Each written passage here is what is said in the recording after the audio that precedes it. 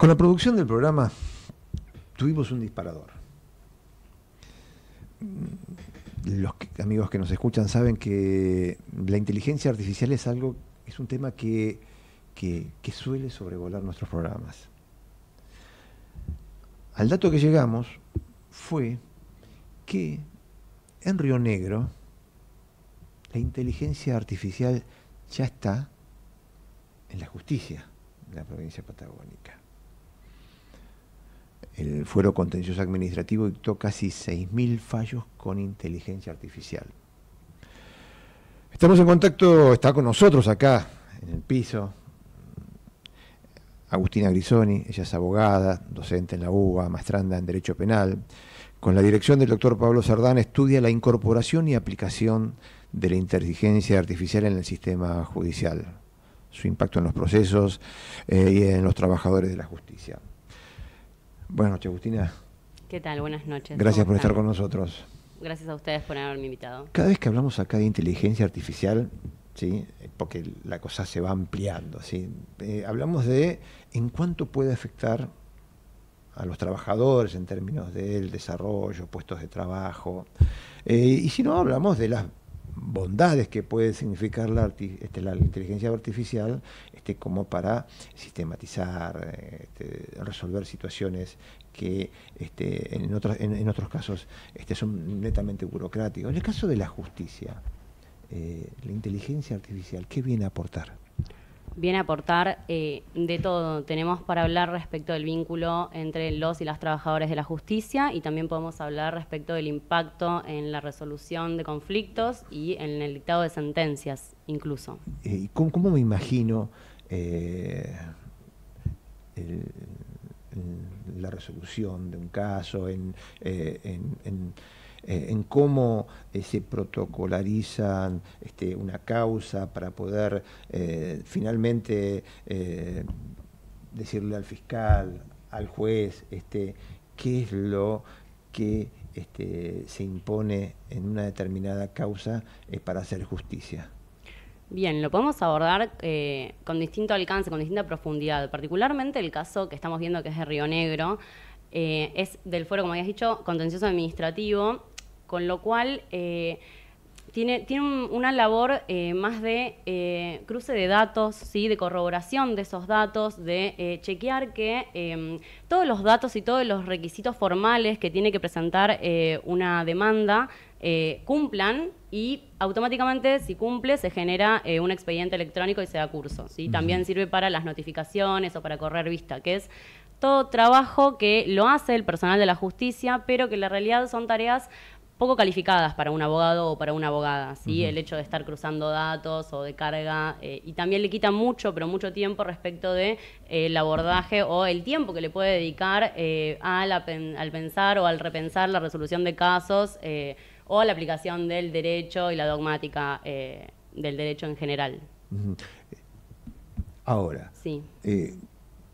Vos estás eh, diciendo, bueno, eh, datos básicos, eh, filiación, todos los elementos este, que hacen al ABC de poder identificar a la persona. Exactamente. En la medida que avanzamos en la causa en sí misma, en la acusación o, en la carátula de esa causa, ya este, la inteligencia artificial en, ese, en ese caso todavía no ingresa Respecto de la justicia, eh, en nuestras provincias no está sucediendo ello, pero sí tenemos casos en Estados Unidos, por ejemplo, donde eh, aplica una justicia predictiva, en donde lo que tenemos, sobre todo, en, digo, que, tiene sus riesgos también, ¿no? Digo, el hecho de que eh, se lo que hace es se carga todo un sistema de, de, jurisprudencia, que son las decisiones que ha tomado un tribunal o un juzgado respecto a un tema. Em, también se carga todo lo que es la dogmática, puede ser dogmática penal, digo, que es todo, todo lo que han dicho quienes dicen el derecho, quienes eh, son los académicos y académicas del derecho. Entonces, en base a eso se va elaborando, eh, se, omite el caso y se va elaborando una sentencia. El problema particular que tiene esto, que digo, no, es todo maravilloso, digo, tiene, tiene sus contras, que es que eh, lo que hemos hablado antes, justicia predictiva, uno va a tener más o menos la resolución del caso de una forma previa eh, con lo cual casi que eh, carecemos de un juez, carecemos ¿no? de una defensa, carecemos de una acusación, porque básicamente, digo, es subsumirlo a la letra de la ley, donde esta te arroja un resultado, que es básicamente más o menos lo que se hacía eh, previo a la Revolución Francesa, ¿no? Digo, los jueces del monarca hacían eso, digo, es como una cuenta más matemática y lógica que la aplicación de una ciencia social. Vos estás haciendo la maestría en Derecho Penal. Exacto. ¿sí? Este, ¿Ves a la inteligencia artificial en el derecho penal? Este, me imagino los grandes casos este, de corrupción, asesinatos, este, eh, un fuero muy, muy particular, muy intenso, con con grandes nombres, o por lo menos este, con, nombres con luminarias actuando en el fuero penal. Digo, este, eh, fundamentalmente me lo imagino hasta casi de película en términos de abogado. Digo, este, ¿cómo ves a la inteligencia artificial en el, en, el derecho penal? siempre que sea para corroborar datos, para cuestiones más aritméticas eh, y demás, me parece que sí, que es viable. Lo que no me parece que es viable es lo que sí se está implementando, que es, por ejemplo, eh, la, cuestión estadística, la estadística respecto de la reincidencia de un sujeto, por ejemplo.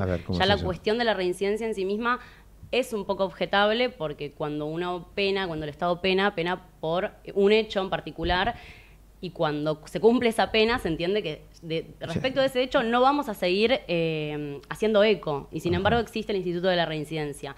Y si sometemos a una máquina a la cual le cargamos datos, eh, para que haga una estadística de la posibilidad o no de que la persona reincida, estamos más o menos determinando a esa persona, porque puede ser distinto del, digo, si me están diciendo que puede ser reincidente o que va o tiene un 90% eh, de, probabilidades de ser reincidente, también tiene un 10% de que no lo sea y que la persona cambie el curso causal y elija comportarse de otra forma.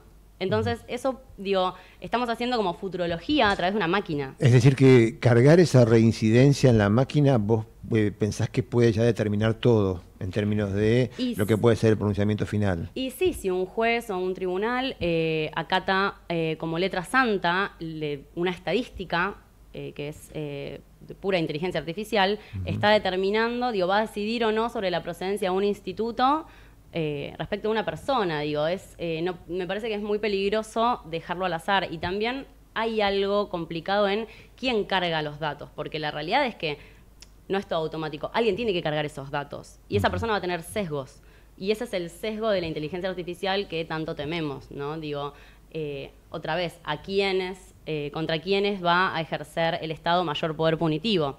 Hay que ah, ver quién está cargando ese dato. Eh, ah, eh, cargar datos básicos es algo fácil, digo, de, DNI, digo, determinados elementos y son totalmente mensurables. Y si hay un número que está mal, salta porque hay un número que está mal por el tema. Digo, el tema es cómo cargamos el tema de la información de, en el caso de un delito penal, un asesinato, de una causa específica, este, eh, la información de cómo sucedieron los hechos, y ahí es donde podría estar el problema del sesgo.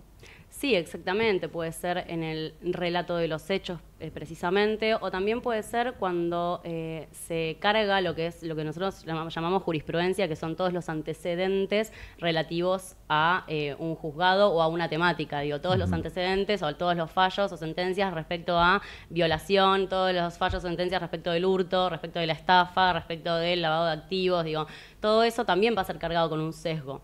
Que también hay una discusión dentro de esto porque él o la jueza o los tribunales no se, presumen neutrales, no son neutrales, la realidad es esa, digo, las personas tenemos tendencias y claramente, de hecho, hay estudios que, y, esto es una realidad, que em, eh, han arrojado el resultado de que un, juez o una jueza em, aplica una sentencia más dura antes de almorzar que después de almorzar, con el estómago lleno eh, son más eh, benevolentes, por así decirlo. Entonces, también hay una cuestión de que nosotros como sociedad no somos eh, neutrales para resolver un conflicto.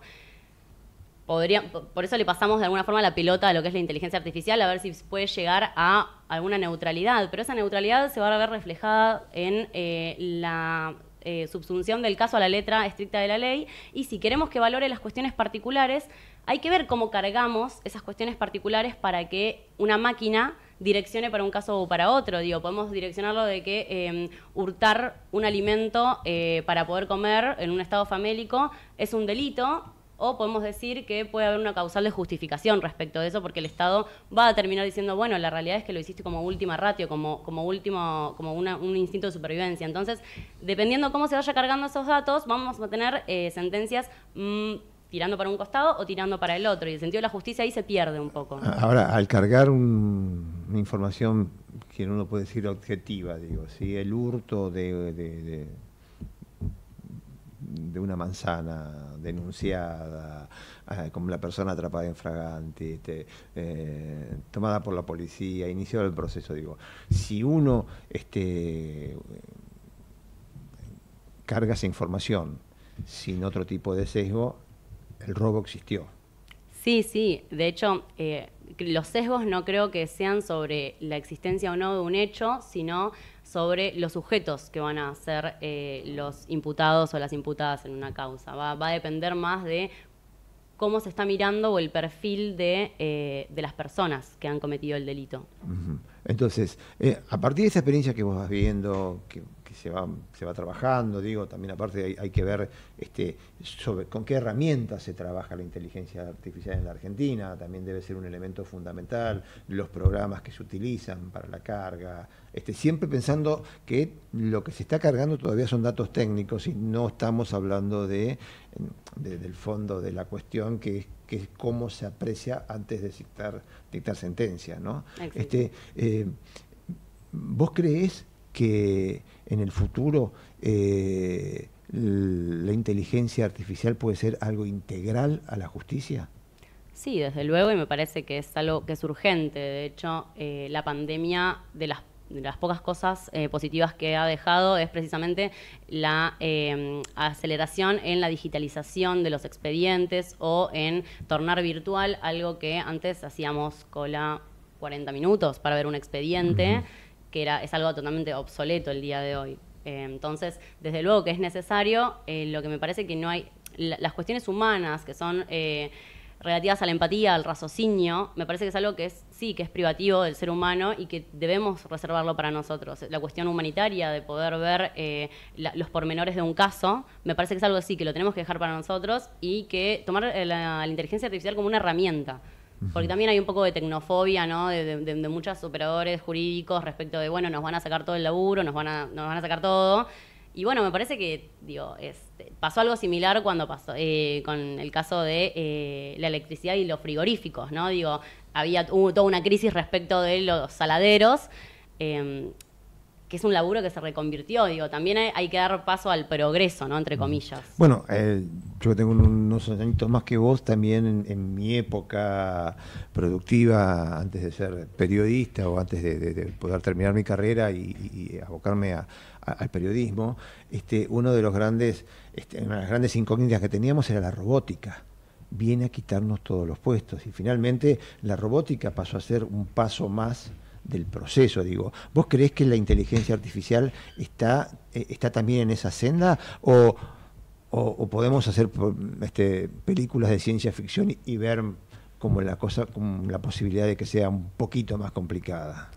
Va a depender de, entiendo yo, de las políticas públicas que elija eh, el Poder Judicial, ¿no? Eh, no es lo mismo llegar hasta donde llegaron algunos estados en Estados Unidos, en donde sí efectivamente hay una justicia predictiva, eh, que lo que están haciendo acá algunas provincias, además de Río Negro, Mendoza, eh, Corrientes, si mal no recuerdo, y la provincia de Buenos Aires, que es una automatización para hacer más eficaz un proceso que es sumamente tedioso. Digo, yo he, trabajado incluso en mis primeros años en el estudio jurídico cruzando datos y es tedioso y no aprendes el derecho. Digo, hubiese servido más estar eh, estudiando o leyendo jurisprudencia para enriquecer una, una, una demanda o una denuncia en, en, caso penal, pero digo, sirve muchísimo más. Incluso me pasa a mí en mis labores diarias que eh, no tengo eh, inteligencia artificial y digo, bueno, perdí una hora y media cruzando datos, eh, que también mi atención no es la misma desde el minuto 1 al minuto 30 y también se me pueden escapar algunas cosas.